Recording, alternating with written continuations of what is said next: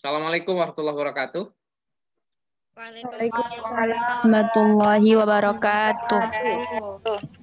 Apa kabar semua adik-adik sekalian sehat di hari ini? Alhamdulillah sehat, Pak. Ya, baik adik-adik semua di hari ini di pertemuan ke-8 ya. Di mata kuliah uh, kewirausahaan kali ini uh, kita rehat sejenak, kita uh, ujian tengah semester ya. Dan uh, mudah-mudahan tetap semangat di uh, pertemuan ke-8 ini. Nah, uh, untuk keberkahan uh, uh, ujian kita di hari ini, Haya Naptatih, mari kita buka dengan baca Al-Basmalah. Bismillahirrahmanirrahim.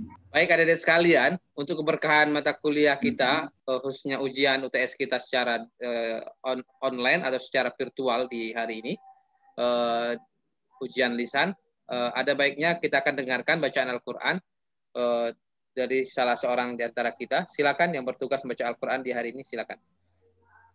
Assalamualaikum warahmatullahi wabarakatuh.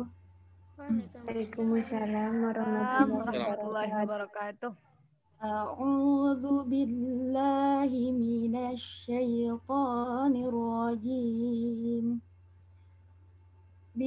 الله الرحمن الرحيم الذين ينفقون أموالهم بالليل والنهار. بالليل والنهار سرا وعلانية فلهم أجرهم عند ربهم فلهم أجرهم عند ربهم ولا خوف عليهم ولا هم يحزنون Sadaqallahul azim.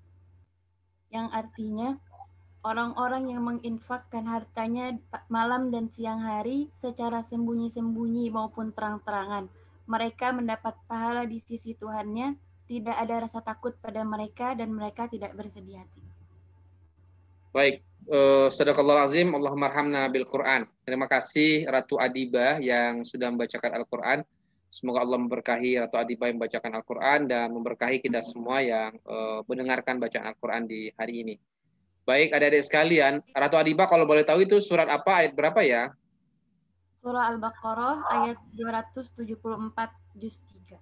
Baik, Al-Baqarah 274. Nah, di ayat ini Masya Allah, uh, di situ ada satu kebiasaan bagi orang-orang yang uh, punya harta, ya itu bersedekah, uh, di malam hari, di siang hari, pokoknya sedekah ya. Bahkan gaya, uh, caranya pun siron, diam-diam, ada yang terang-terangan. Nah, apa kemudian yang mereka harapkan? Mereka ingin mengharapkan dapat pahala dari Allah dan tapi yang kemudian dampak pahala itu apa yang terjadi? Mereka punya rasa ketenangan, mereka nggak takut, nggak khawatir dan berbagai macamnya. Jadi bahagia itu pada saat kita mampu berbagi, bersedekah, berzakat, berwakaf, bukan hanya sebatas ketika kita bisa mengumpulkan harta atau keuntungan dari setiap bisnis kita.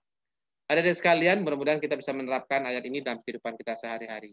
Baik, hari ini kita akan melaksanakan UTS. Nah, eh, baik kita akan mulai UTS kita di hari